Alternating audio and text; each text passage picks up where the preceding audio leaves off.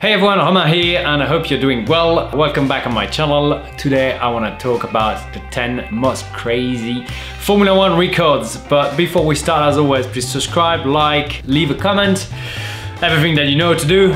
First crazy record, the number of podium during one season. Any idea who that can be? It was in 2021, there were 22 races and Lewis Hamilton scored 18 podiums out of 22 races. There's only four races that he wasn't on the podium. Even though he didn't win the championship in 2021, 18 podiums out of 22 races is absolutely outstanding. I'm not sure that record's gonna be beaten. I mean, there's more and more races per year, so yes, there's more chances. But 18 out of 22 is very impressive. Crazy fact number two, who was the youngest Formula One world champion? And how old was he? He was 23 years old, 4 months and 11 days. He's been four-time world champion with his first world champion in 2010. That's Sebastian Vettel was world champion 2010, 11, 12 and 13. Four world title in a row. I was lucky to be racing Sebastian during some of that time. What a driver. He's retiring at the end of the year and um, yeah, youngest Formula One champion ever.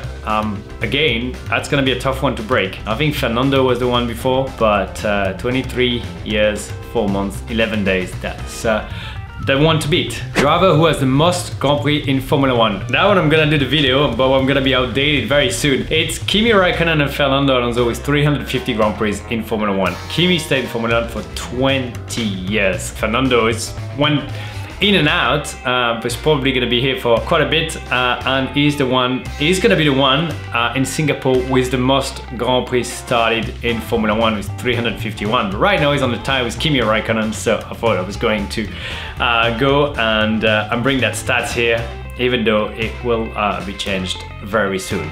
The highest number of spectators at one GP. Which Prix can it be? And how many people? That's stat number four and it was the US GP in 2021 with 400,000 spectators. Before that it was UK with 351,000 spectators. It's not on one day, it's on the three days of the Grand Prix, but that's 125 or 133 actually per day for the US Grand Prix in 2021. I believe Vegas in 2023 is gonna be the one with the biggest attendance, but uh, we'll have to wait the end of 2023 to know that. Youngest Formula One Grand Prix driver, and that record won't be beaten because now you need to be 18 years to attend or to have the super license. So that's Max Verstappen. Max was 17 years and 166 days at the 2015 Australian Grand Prix. He's also the youngest driver ever to score points as he did that two weeks after his first Grand Prix. So that record is set in stone unless the rules change, but I don't think it will. So the youngest uh, Grand Prix driver, youngest driver to score points are always pretty much going to be Max Verstappen. Now talking of the youngest, who, is, who was the oldest uh, Formula One driver? And that's Louis Chiron. He was 55 years 9 months 19 days when he won the 1955 Monaco GP and he set on his home race uh, a record on that day uh, 55 years plus. That's uh, that's pretty cool. Again don't think that one will be beaten uh, different times but it's good to know that uh, at 36 years old I've still got plenty of time to go racing Fastest top speed. Top speed is always a question I'm being asked. How fast do you go? We don't know. But the fastest top speed in Formula One car was set uh, during the 2016 Mexico GP. Why Mexico? Because Mexico is more than 2000 meters of altitude. And that altitude, density altitude, which is the density of the air, is much lower than at sea level. And therefore there's much less drag in the car. There's less cooling, uh, there's a little bit less power for the engine, but no, with the V6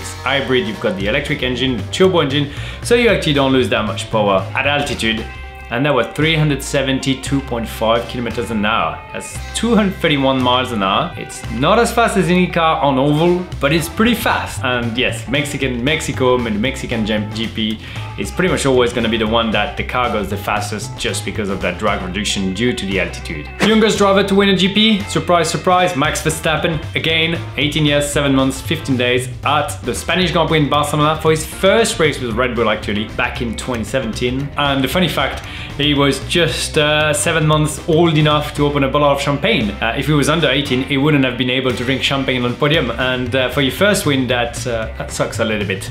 So luckily enough, he was above 18 and was able to drink champagne. If he was in IndyCar, though, he wouldn't have been able to uh, drink champagne as you need to be above 21 year old to uh, drink alcohol in the States. But in Europe, 18 years and seven months was old enough to enjoy champagne for his first out of many Formula One wins. The most world championship for one driver? Well, that's an easy one. I guess you guessed it already. Michael Schumacher and Lewis Hamilton with seven world titles each. Pretty an amazing number. Lewis currently, I mean, not in 2022, but why not in 2023?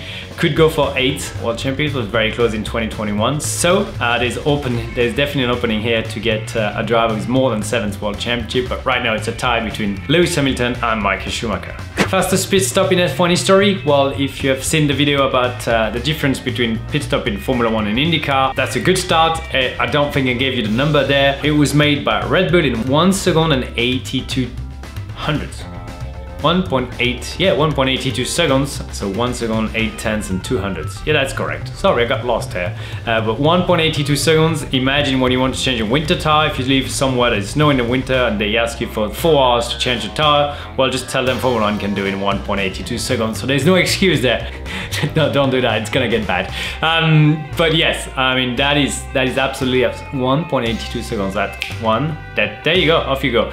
Absolutely stunning. Um, the rules change a bit since then, so they, they it's a little bit slower now. They've got bigger wheels, but still, uh, they go fast. But that was that 1.82 seconds was just it was just insane. I remember seeing it live. I was like, did they even change a dollar there. Um, and yes, they did. So uh, congrats to the Red Bull team on that one. Well, I think that's it for today. Uh, that's some, some pretty good stats. I'm sure there were some that you knew and that I knew.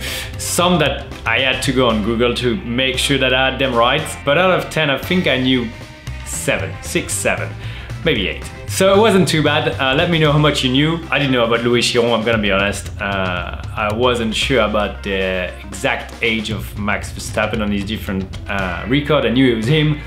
But let me know how you did on that, uh, that quiz and I'll see you very soon for more.